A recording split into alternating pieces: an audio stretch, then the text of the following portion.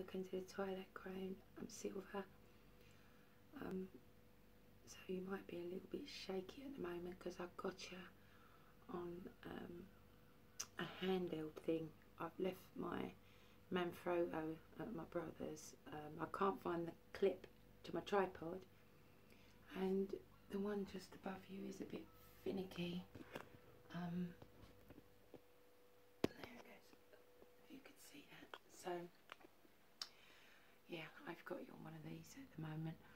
Um, just in preparations.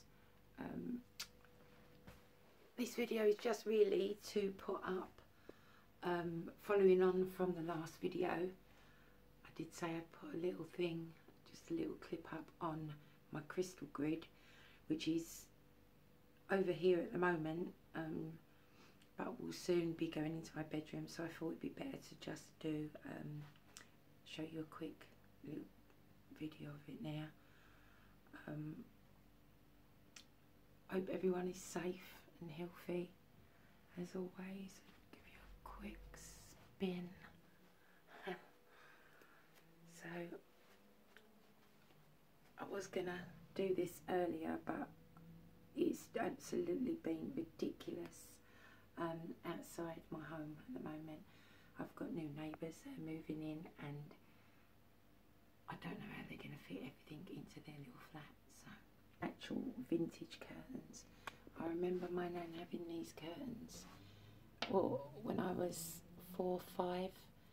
Um, so they're definitely vintage and old. She also used to have them in, uh, she used to have them in lemon, in pink and in baby blue as well. I remember, I wish I had them ones because they're gorgeous. I just love them. Um, yeah, so I'm going to try it also over the next couple of days, if I don't fall over, um, to I've got to book it online due to obviously the pandemic and everything that's been going on. So um, I'm going to try and get into Colchester Castle because there is so much awesome history um, and also to do with witches and things like that um, from England. It's got it's completely soaked in history. So I mean I don't know all about it obviously, um, but I'm going to try and do a little bit of research. My mind's terrible, so it will have to be written down as I go along.